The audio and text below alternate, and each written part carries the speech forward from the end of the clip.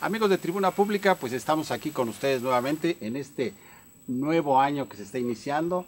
Ya nos dimos eh, las felicitaciones en nuestro primer programa del año, pero tengo la suerte de estar acompañado de la poeta, escritora Laura Fernández Magregor Maza. Laura, bienvenida. Encantada de estar nuevamente con ustedes y saludo a todos con mucho cariño. Oye Laura, ¿qué te parece si eh, en este programa eh, escuchamos una entrevista a la pintora Casi Tibón? Ah, encantada. Casi Tibón, eh, su primer nombre es Cristina y es un encanto de persona, es una amiga de muchos años y es una espléndida pintora que ahora igual hace caras, eh, este, retratos que paisajes. El otro día, en dos minutos, bueno, en dos días, dos madrugadas que se levantó para tomar el popo justo cuando se está develando, Ajá. ella se levanta como a las 5, comienza a arreglar todas sus eh, cosas para poderlo pintar y al cuarto para las 7, que es cuando comienzan los colores a salir y todo, eh, me mandó la, fo- la fotografía que ella tomó de primera este, Instante. toma, ¿no? Primera instancia de, de- de- y al día siguiente ya me mandó el popo, maravilloso. ¿eh? Pues Laura, vámonos al taller de, de- de Cristina a ver esta entrevista que nos regaló. Encantada. Amigos, acompáñenos.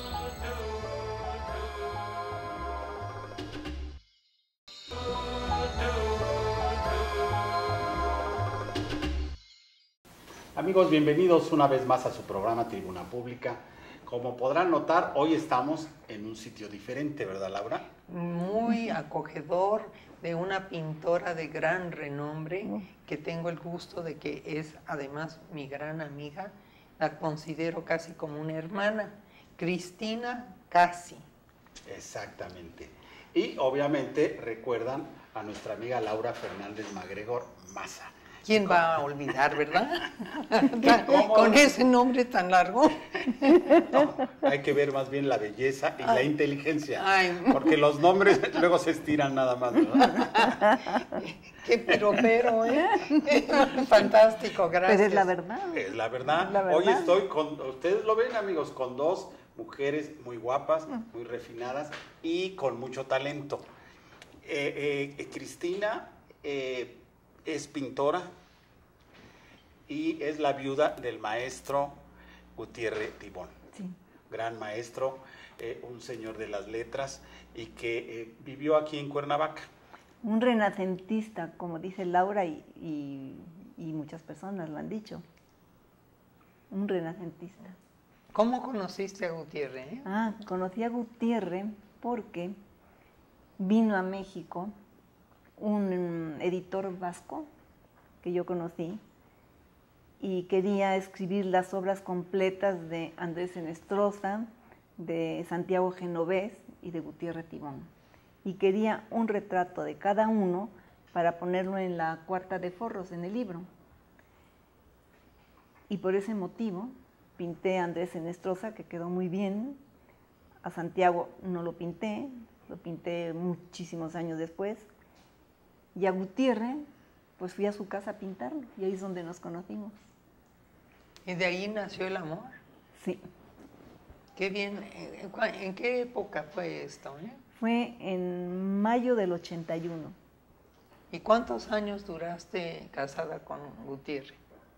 Pues desde el 81 prácticamente, porque enseguida hasta el 99 Qué bonito. de mayo también. Qué bonito. Sí.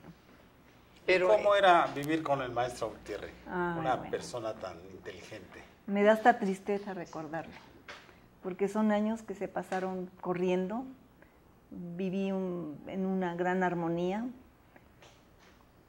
Su compañera, su compañía es indescriptible.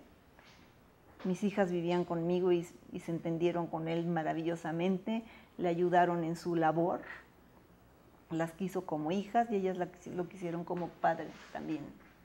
Un hombre maravilloso. Bueno, creo que todos ustedes saben cómo era Gutiérrez. Claro, yo tuve el gusto eh, que doña Margarita López Portillo me pidiera que hiciera algunos programas con él.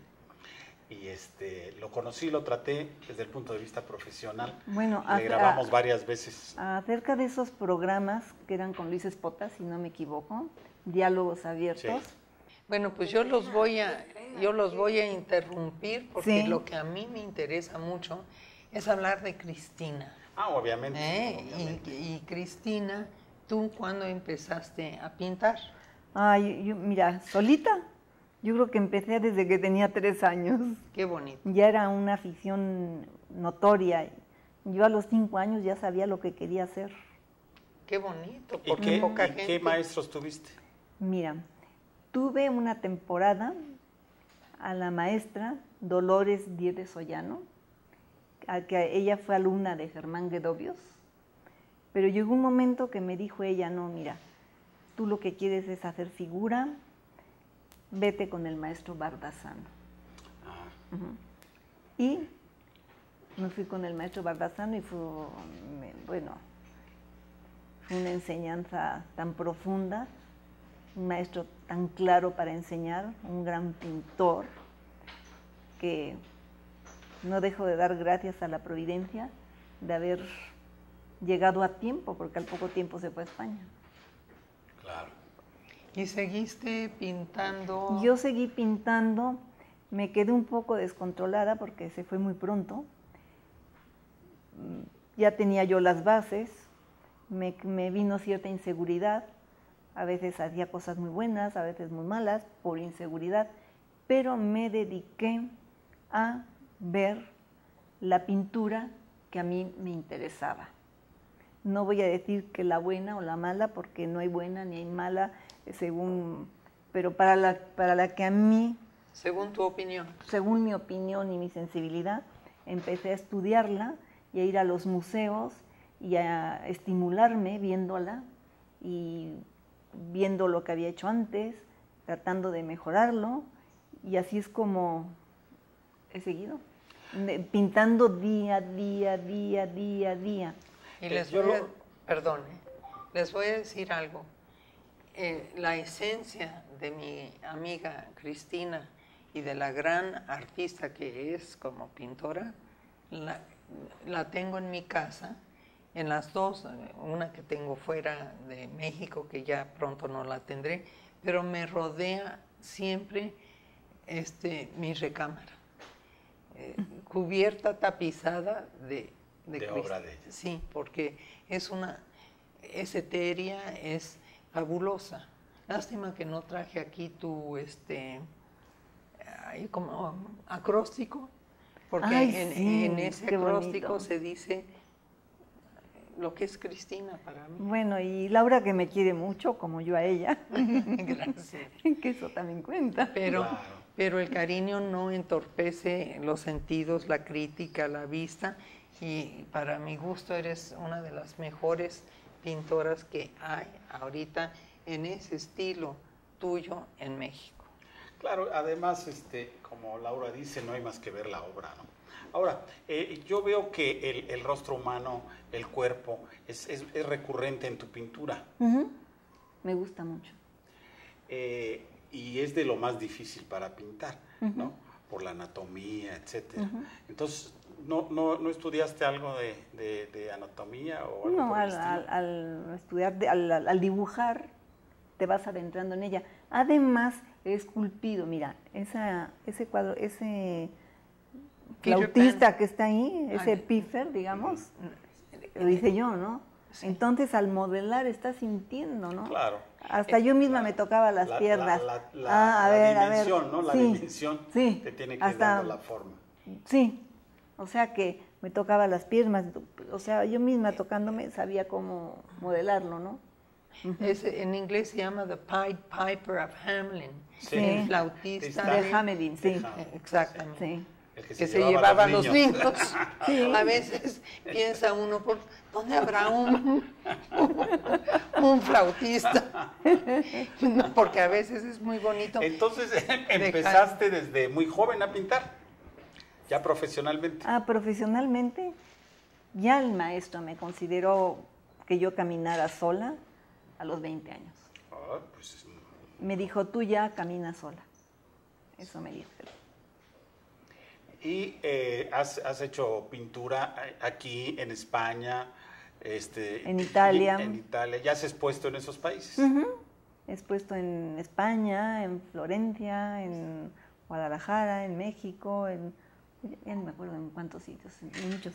Inclusive Toluca, en ella este- hizo la portada de uno de mis libros, Perlas de Pasión y Pensamiento, y está preciosa la portada. Eh, eh, la- luego la sacas. No soy buena, Claro, no, no soy buena ilustradora, ¿eh? ahora lo hubiera hecho distinto. No tengo esa chispa, que, porque no, no soy ilustradora, pero Quedó esa vez precioso. hice lo que pude. Oye, Cristina, ¿cómo divides ahora tu tiempo? Porque sé que no estás en Cuernavaca o en México, sino que eres una viajera. Uy, sí, es como tengo tantos hijos, los tengo en, en to- mira, uno lo tengo en Pamplona, dos en Houston y otro en México. Entonces ando saltando. Y tú estás en Granada. Y yo estoy en Granada, después mi hija se va conmigo a Granada, está ahí las vacaciones de los hijos, después vuelve a Houston. Pero lo que me llama mucho la atención es que con toda esa actividad y ser una madre estupenda que siempre está al, Al cuidado, cuidado de de sus los- pollos, porque ya son más, más bien gallitos, este, ella se da el tiempo para pintar maravillosamente bien, ya sean cosas de España o de acá, y le han publicado cuántos libros, Ah, en España dos. y aquí. Uno del Aquí Politécnico. uno, aquí uno. Ah, no, en España tres. Ujú. Sí. ¿Y el de aquí del Politécnico? Fue en 1999. Muy interesantes. Y eh, sabemos que, que pintas el cuerpo humano, pero también te gustan las flores, las naturalezas muertas. A mí me gustó todo lo que me causa una emoción en el momento. ¿eh? Puede ser un retrato, puede ser un paisaje, puede ser un- una roca, puede ser un- una flor. Este, hay, cuando estuve yo en España tuve la suerte de visitar la casa museo del maestro, siempre lo digo mal, Sorolla. Siempre, siempre quiero decir Soraya, que es la esposa de, bueno, en fin. Y a ella le dicen la Sorollita. Ay, no, porque, gusta que me digan sí, así. porque tiene esa cali- calidad, cualidad increíble de la luz y los, los tonos. Los medios tonos. Ay, no, es soñar. ¿Y, y qué, qué- cuál de todas las técnicas que dominas es la favorita para ti? El óleo.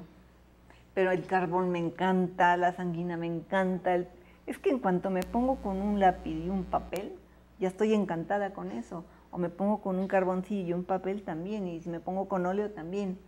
O sea, que todo me gusta. ¿La acuarela? También. ¿Te parece que es un poco más difícil la acuarela que esa primera Mm, instancia? Para mí es más, creo que es más difícil el óleo, porque la acuarela es muy difícil. ¿eh? La acuarela se lleva, por lo general, se lleva para paisajes, para bodegones, algo que no es tan, tan, Detallado. tan detallado, tan exacto como tiene que ser un retrato y tan juzgado como un retrato.